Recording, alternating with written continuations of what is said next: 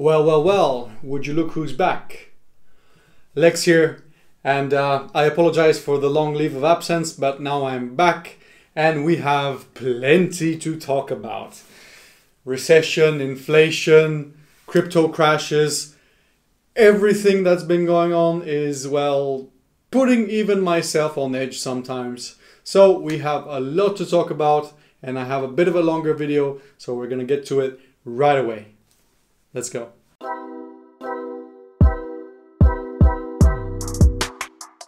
Okay, so I got a bit of a presentation open here for you that I've made, which covers most of the basic points that I want to talk about in this video.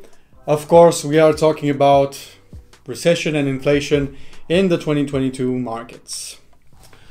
Of course, it's all doom and gloom, and uh, I want to try to cut through that and just speak about the facts, speak about the things that we know, and uh, not get into the fear or the hope or whatever it is that people are feeling in the markets right now because when you look at the fear and greed indexes, we are deep into fear territory for both crypto and the stock market.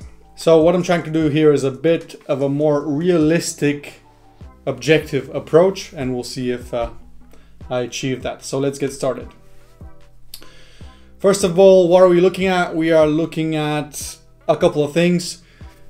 My intro is going to be about the perfect storm, basically the factors that have gotten us to the current situation, what has led us here, and uh, why are we feeling the pain right now. Next, we'll look at some news, basically what people are saying out there, what people like uh, Elon Musk, the World Bank, whatever, what's their opinion, what are they thinking, what are they saying, should we trust them or not? Next, I want to take a look at the actual inflation data that uh, came out for the last few months as well as May. My own expectations, kind of my opinion on how I'm navigating this situation. I'm going to talk about what I'm going to do. And uh, obviously, you shouldn't follow exactly my plan. You should always do your own research. You should always make your own conclusions because this video is not financial advice. I'm not telling you what to do. This is just me doing me, what I'm looking at, what I'm doing.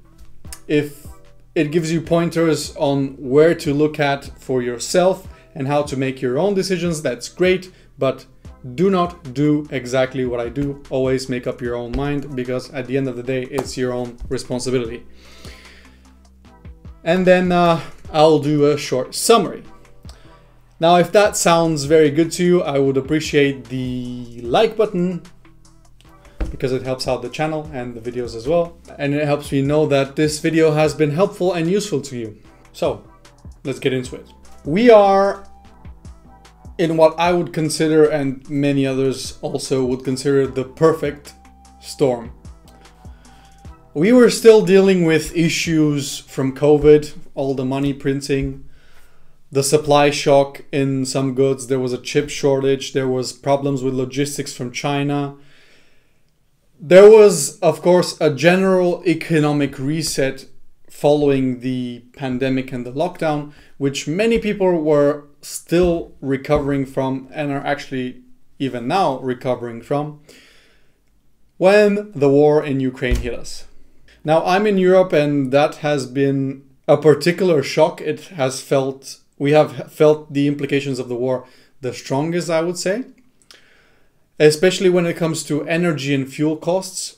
Europe has been the one that is the most affected and those sectors are the ones that have been very strongly contributing to inflationary factors that we are seeing right now because obviously when you have a high cost of fuel or a high energy cost, that impacts everything. High energy cost is never a good thing for the whole economy. Obviously, because of the war, we have further supply shock compounding from COVID because we have many basic and raw materials which are coming from Ukraine, which will be coming no longer.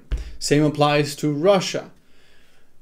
These countries are a huge exporter of wheat, corn, just basic foodstuffs, as well as many things like construction materials, wood, metal, heavy industry, which now has been disrupted. And now, obviously, people want to spend, they want to live, they want to go on holidays, they want to enjoy their life. So they, the demand for goods and services is there. The trouble is, because of COVID, because of the war in Ukraine, the supply is not there. And that leads obviously to a sharp increase and sudden increase in prices, which is what we call inflation. And obviously, with the war in Ukraine, we have a lot of uncertainty on where the war is headed. Is it likely to expand? Is it going to impact neighboring countries directly? These are all concerns which also have an implication in the economy, also have an impl- implication on how people and where people spend their money, and of course, are a strong cause of the recession fears that we have all over the globe. Uncertainty is never a good thing when it comes to economics and investing. And of course, we have inflation and stagflation. I mean, we will we will take a look at Google Trends later, but there is a clear spike for the search terms inflation and stagflation when you look at Google Trends. And that unfortunately is a bit of a self fulfilling prophecy because when businesses expect inflation, they are likely to raise prices just so they can have a buffer of their profit margin, which of course causes further inflation and it has a rippling effect throughout the whole economy. Basically, it's kind of like a downward spiral. It's a self fulfilling prophecy. If you expect inflation, it's likely to occur. Whatever you're afraid of, it usually occurs. And that's how it works in the economy as well. So the central banks need to be really active in managing inflation expectations because the expectations themselves are also a strong drive are also a strong driver of inflation itself. We have central bank policy. Obviously, it was very loose. There was a lot of money printing in COVID. I believe, I'm not sure about this number, but over 40% of the supply of the US dollar was created during COVID. The euro, of course, followed suit and there was a lot of printing as well. Now, that contributes to obviously inflation, monetary supply, more money in the economy.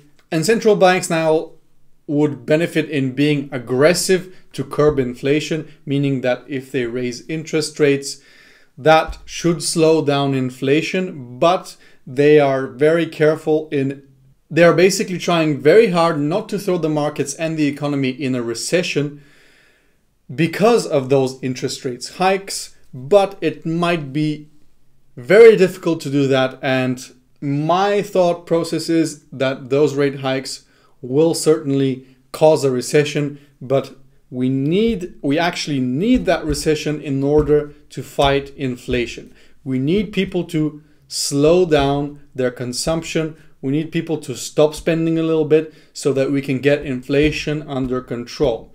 And that means that recession is actually a good thing when it comes to, to the long-term health of the economy. However, it's a very difficult thing for many people and short term a lot of businesses a lot of individuals might go bankrupt. So that is kind of the balancing game that central banks have to play in order to control the economic situation. So you can see how all of these factors combine to kind of make a perfect economic storm, which is hitting us right now. It's causing a lot of fear, it's causing a lot of worry. People are losing money, businesses are going under it's a massive deleveraging event. It's a massive market shock, but all these factors combined, you know, sooner or later something has got to give and it looks like it has started. And that is kind of our next slide. I'm to pause the presentation for a bit because I want to take a look at a bit of news. Let's go ahead and do that. So, we have people like Elon Musk who is very adamantly hinting that a recession is coming. And it's not just him, it's many other people, but his opinion is that, well, he said in a couple of tweets that he has a very bad feeling about the economy. He has also said that, in his opinion, a recession would be a good thing because, in his words, it has been raining money on fools for far too long. There are a lot of businesses who are basically, well, zombies that they need to die in order to clear and make way for new companies to come to make new products to refresh the whole economy. Yeah, this is where he says, yeah, it's a good thing. It's been raining fools on some bankruptcy. Some bankruptcies need to happen. Of course, obviously, this is a very controversial opinion. So he thinks this recession is going to last about 12 to 18 months. Whether you should believe him or not, I don't know because honestly, um, Elon has a history of, well, let's say questionable market behavior. He has been quite frankly manipulating crypto markets when it comes to Dogecoin, and that was during last year. He has tweeted specific tweets which have boosted or dropped the prices of several crypto assets. Now, whether he can do the same in stocks, I doubt in the same capacity. Uh, plus, it's much more risky that the SEC might react, but I am sure that uh, he might have, um, let's say, interest, at least to some extent, in saying this. I mean, uh, if he has prepared for a recession, that means he's going to have spare cash to deploy for Tesla or for himself to purchase investments. And in in that view, a recession would be in his favor. So if he's saying an inflation is happening, he's basically moving the, the needle towards that said recession, a sort of manipulating markets so he can then invest and buy stuff cheaper. That doesn't mean he's wrong, but you should bear in mind that you don't always listen to what the news and the media says, especially when it comes to people like that. We also have Jamie Dimon, who is the CEO of JP Morgan Chase. He has said, brace yourself for an economic hurricane caused by the Fed and the Ukraine war. This guy is also pretty sketchy when it comes to his opinions. Uh, for example, he was really, really bearish on crypto. He at one point called crypto absolutely worthless.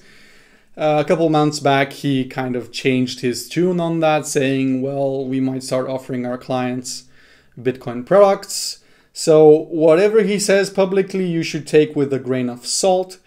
But nevertheless, he is also agreeing that, well, things are not looking so good. Basically, he said, well, central banks don't have a choice. There's too much liquidity in the system, meaning that there is too much money. So they need to do QT, which means quantitative tightening, which means that they are basically taking money out of the markets into their reserves. Of course, many other economists are predicting a recession next year. Honestly, I think a recession is already here, but we'll comment on that later. And uh, yeah, it's just recession, recession, recession, inflation, inflation, all over in the news.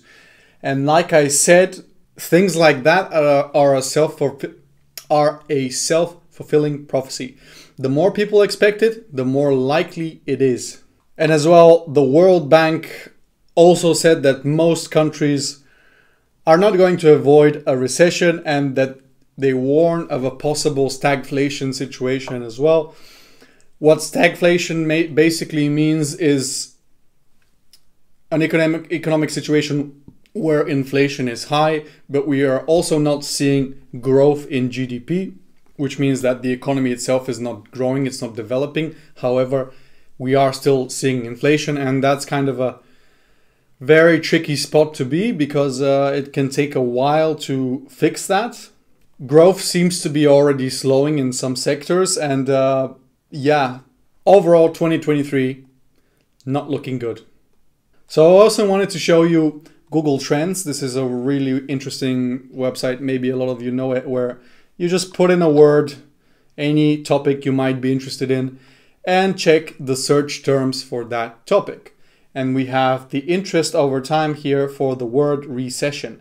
You can see how, well, basically, since the beginning of this year, the term has been peaking hard. Back in late May, that term hit 89, which 100 is basically like peak popularity. 89 is pretty damn close to peak popularity as well. Then it dropped down because, well, the markets were doing okay. And now we are going to be back up.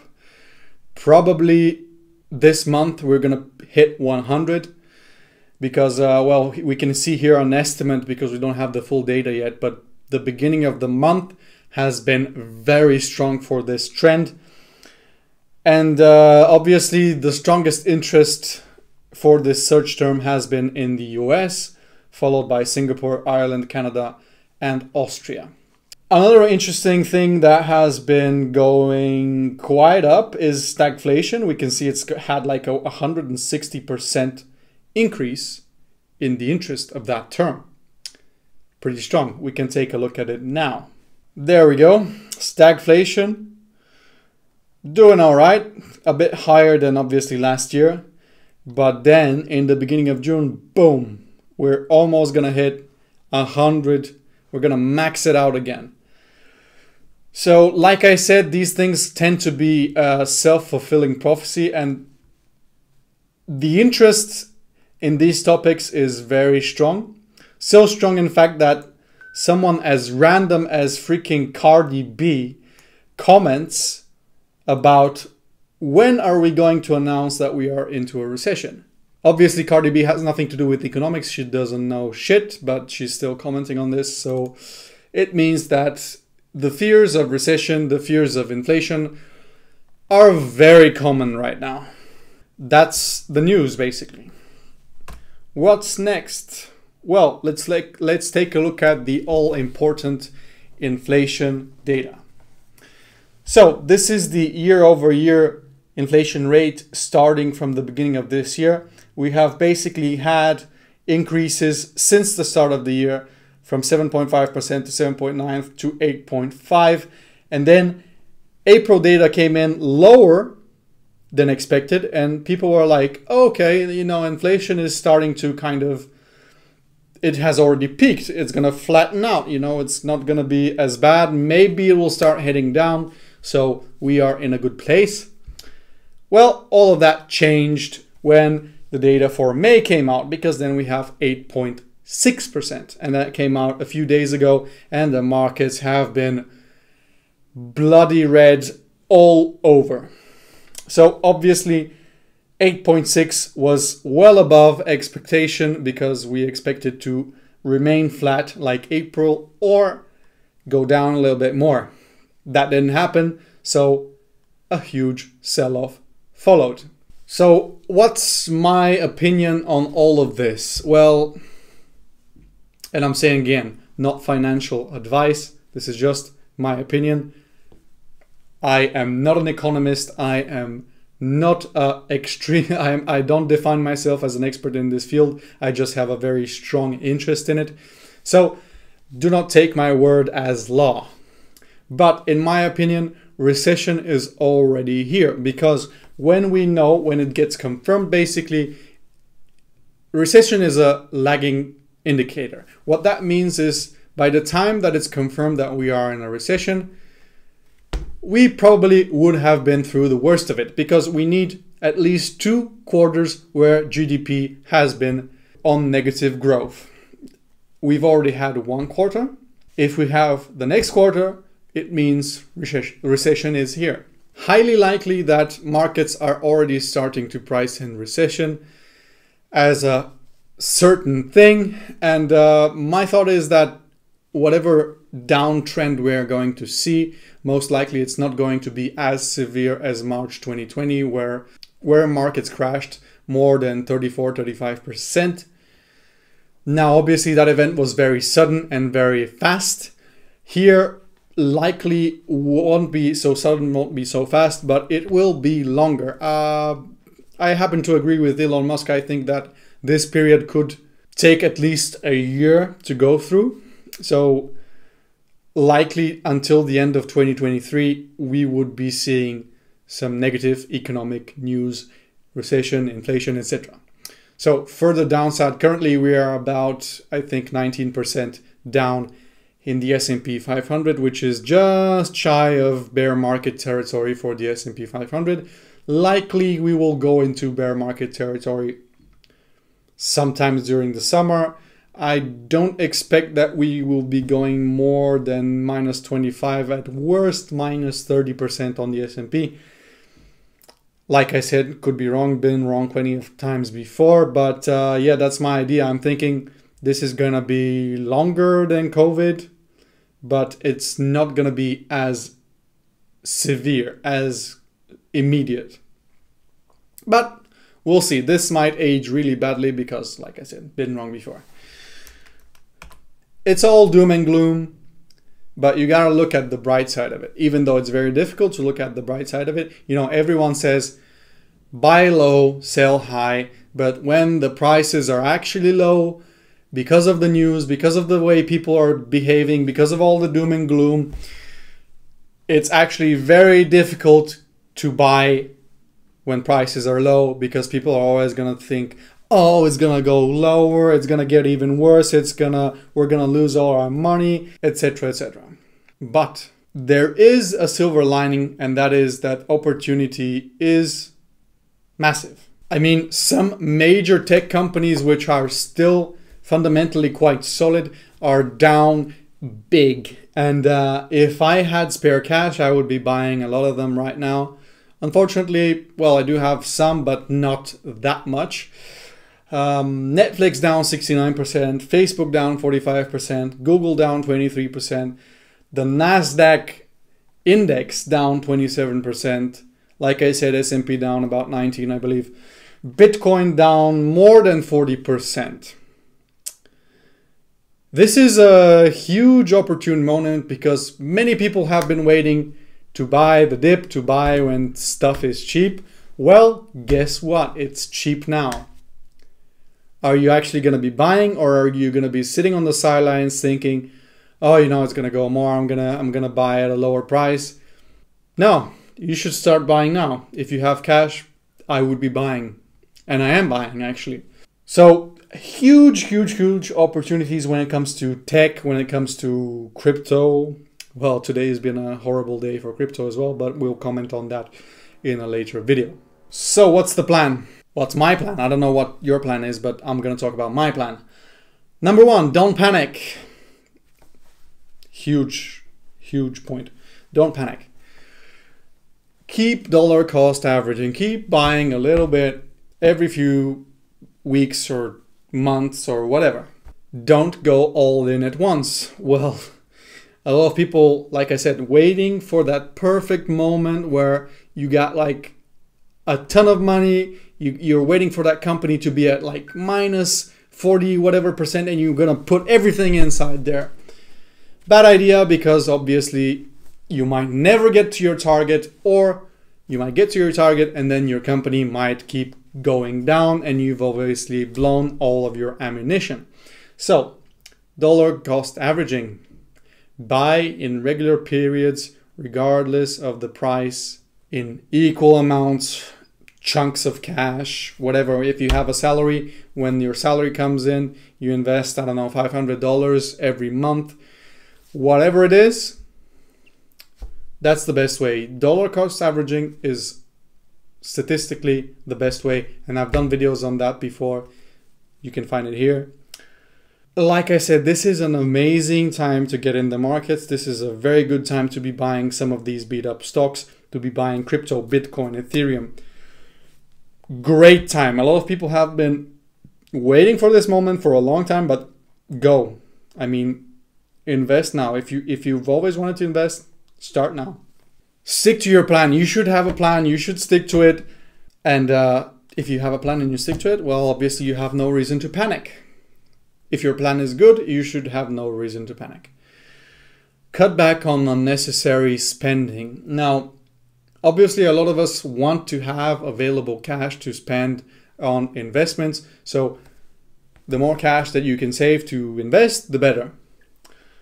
Never invest the money that you need immediately. If you need money to, well, basically live, to buy food, to pay rent, to take care of your family, don't invest that money.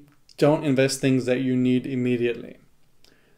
And the last but not least, be patient. This, well, you need to be aware here with all these things I'm talking to myself as well because this is my journey as well. I'm I'm in it with you. But patience. This could take two, three, four, five years to blow over. And uh, in that time, things can get so crushingly bad. But we need to be patient and we need to remember the big picture and just keep going, small steps, step by step, keep going. That's about it for the plan. So, summary pain is ahead. It's likely to get really difficult, it's likely to get really painful. Bear markets and recessions can be absolutely soul crushing. Like it can feel like you're about to lose everything. And uh, I am not gonna lie, I am not looking forward to that moment, but I am trying to be mentally prepared that it could happen. Of course, it is an amazing time to be learning a lot about the markets, to be really hands on with investing, to be really hands on with your research, to be figuring stuff out, to be buying different things, to be experimenting, to be learning because that potentially can earn you a lot in the future once this all blows over. It could turn out that this is a rare, rare opportunity. Because let's face it, when is in the last, uh, let's say in the last 10 years, we've really had maybe two times where the market has dropped more than 20%. That's it. There hasn't been a huge opportunity to buy in at lower prices. You know, looking back, it's easy to say, well, I should have done that, I should have bought then, I should have done this, whatever.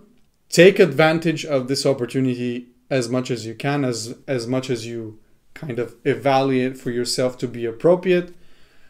And I know that buying now is extremely hard because I can feel it myself as well. Sometimes I hesitate, you know, should I put in money now? It still keeps going down buying in difficult times is hard. Like people people make it seem easy, you know, just just buy a dip, you know, buy it a dip. No. It's very very hard, but that's why it is rewarding. There wouldn't be such huge opportunities for gains if it was easy, if everyone could do it. So keep these these things in mind and uh, good luck. Basically, that's it from what I wanted to talk about today. I hope this video has provided you some value. I will be making a next video shortly. I hope it would be able to be uploaded before next week because I should really, let's say, tighten the schedule when it comes to uploading in this tough period. But just wanted to say, uh, you are not alone basically I'm still in this, I'm still doing this. I haven't sold anything really. Have I, have I lost a lot? Yes, I have, but I have also accepted that this is part of being in the markets. Events like this happen, and uh, we need to be level headed. We need to be able to understand them. We need to be patient, and we need to just keep following our long term plans. So that's it for this video. Thank you so much for watching. If you have enjoyed, this is a reminder again to smash the like button and uh, thank you again. I'll see you next video where we will probably talk about what the hell happened in crypto. Till next time, bye-bye.